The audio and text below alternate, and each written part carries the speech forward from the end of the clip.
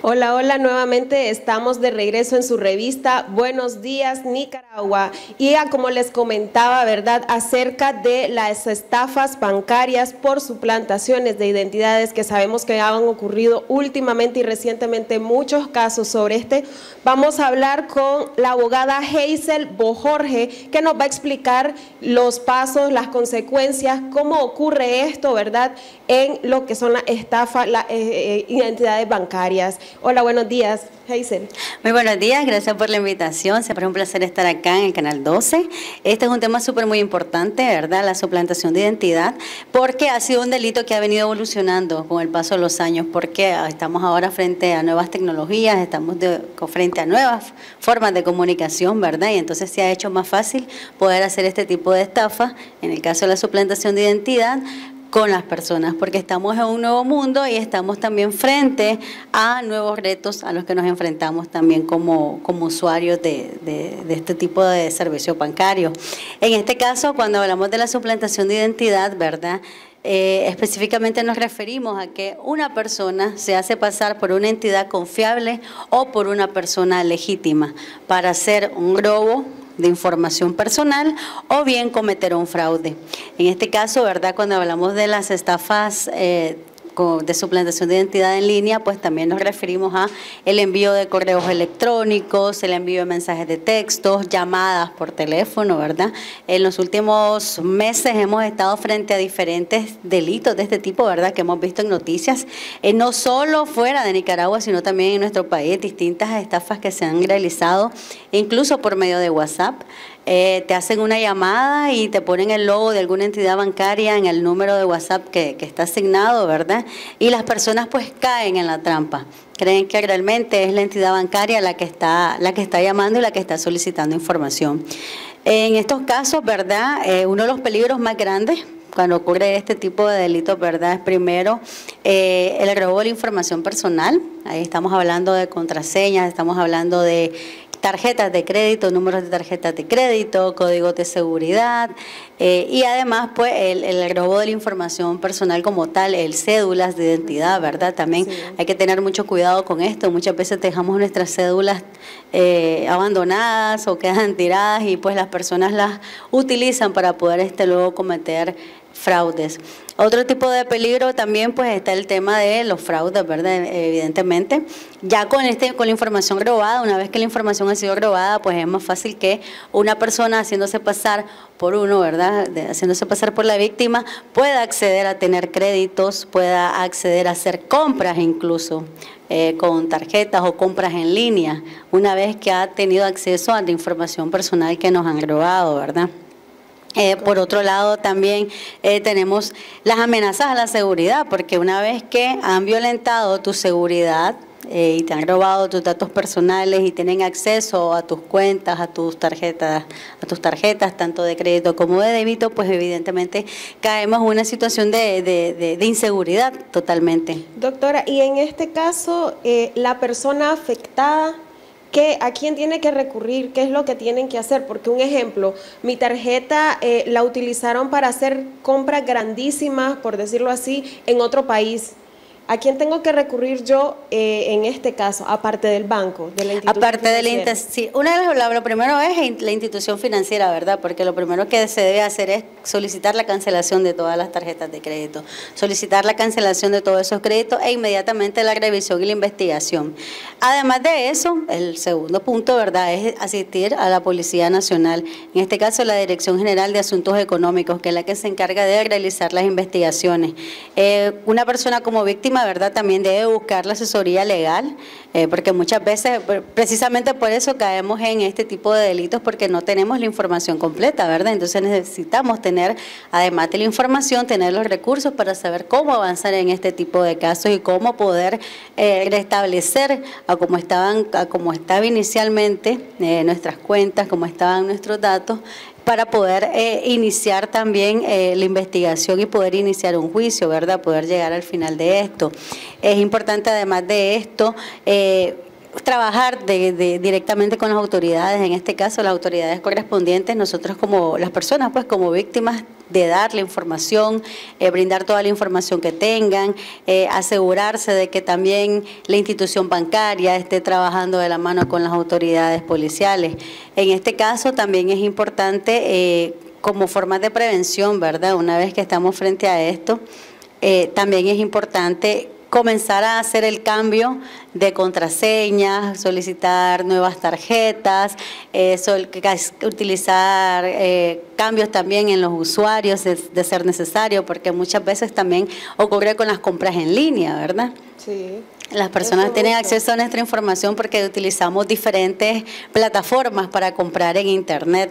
Entonces, cuando utilizamos las plataformas y un grobo de, la información personal o muchas veces una filtración de datos también personales, ¿verdad? Entonces, es importante poder actuar, eh, en este caso, pues pensando en, eh, primeramente, pues hacer los cambios necesarios de contraseña, utilizar el, eh, los doble, el doble factor de autenticación, que esto es muy importante cuando se trabaja en línea, cuando se hacen compras en línea, es muy importante hacer uso de esto, porque esto significa que además una persona puede obtener la contraseña, puede obtener el usuario, pero si no tiene, pero si uno, uno, tiene el doble factor de autenticación activado, la persona, aunque tenga esa información, no va a poder tener acceso porque también va a necesitar un código que llegue al número de teléfono personal del, del usuario de esa cuenta. Entonces también eso es importante, proceder, además de iniciar con la investigación, la denuncia ante la policía, hacer también la denuncia con las instituciones bancarias,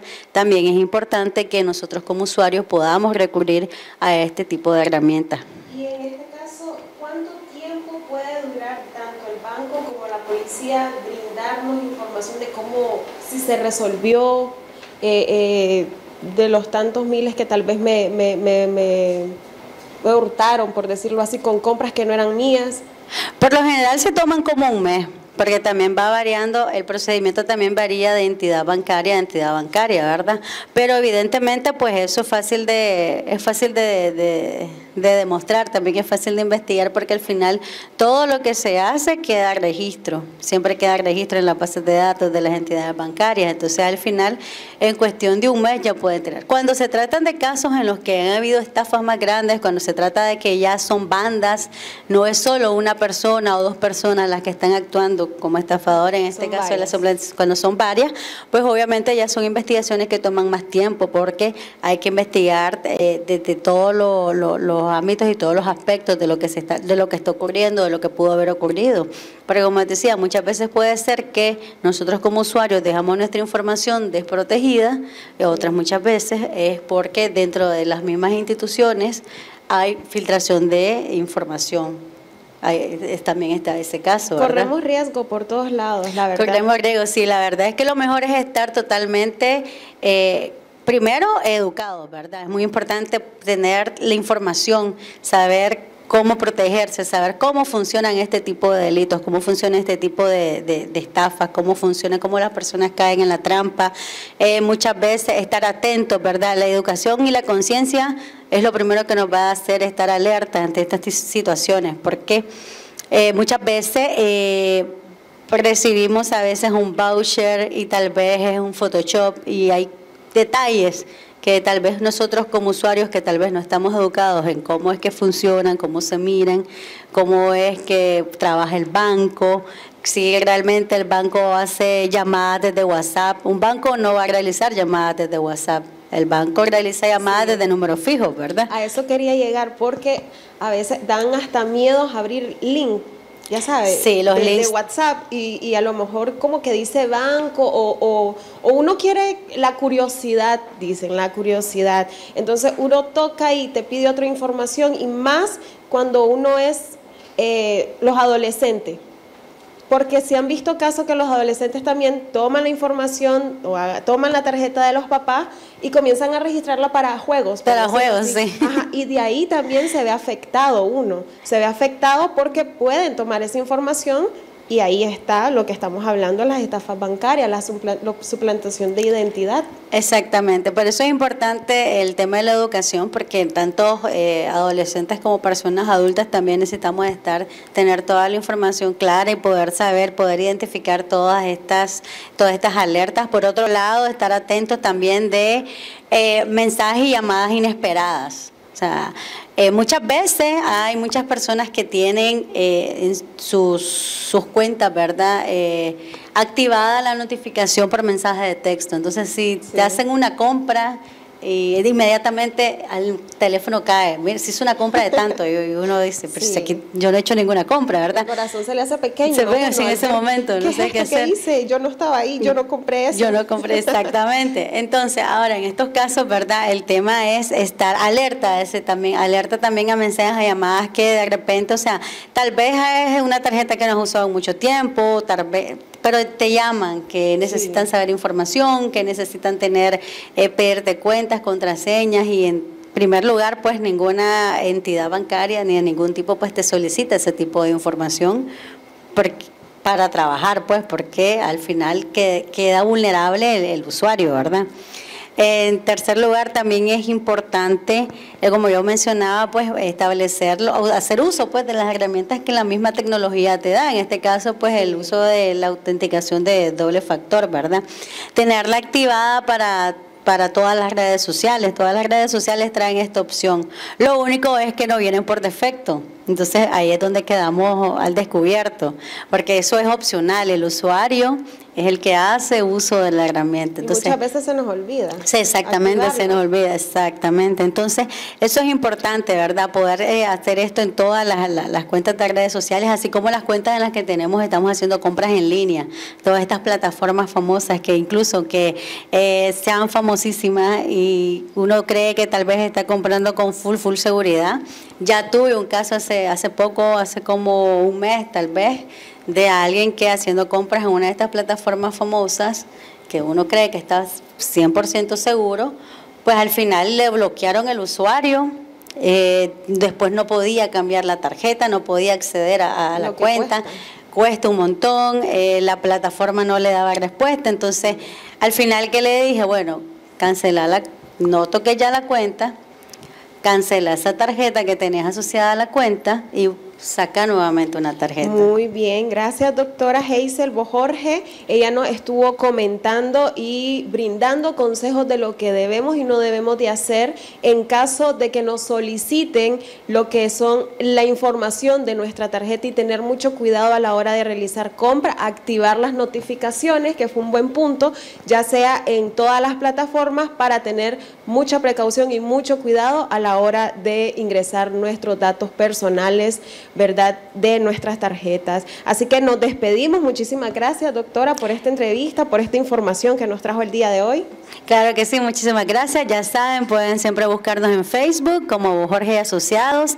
Eh, también pues pueden escribirnos a WhatsApp al 8569-4833 y pues siempre un placer estar por acá. Muy bien, vamos a una pausa comercial, pero regresamos con más. De buenos días, Nicaragua.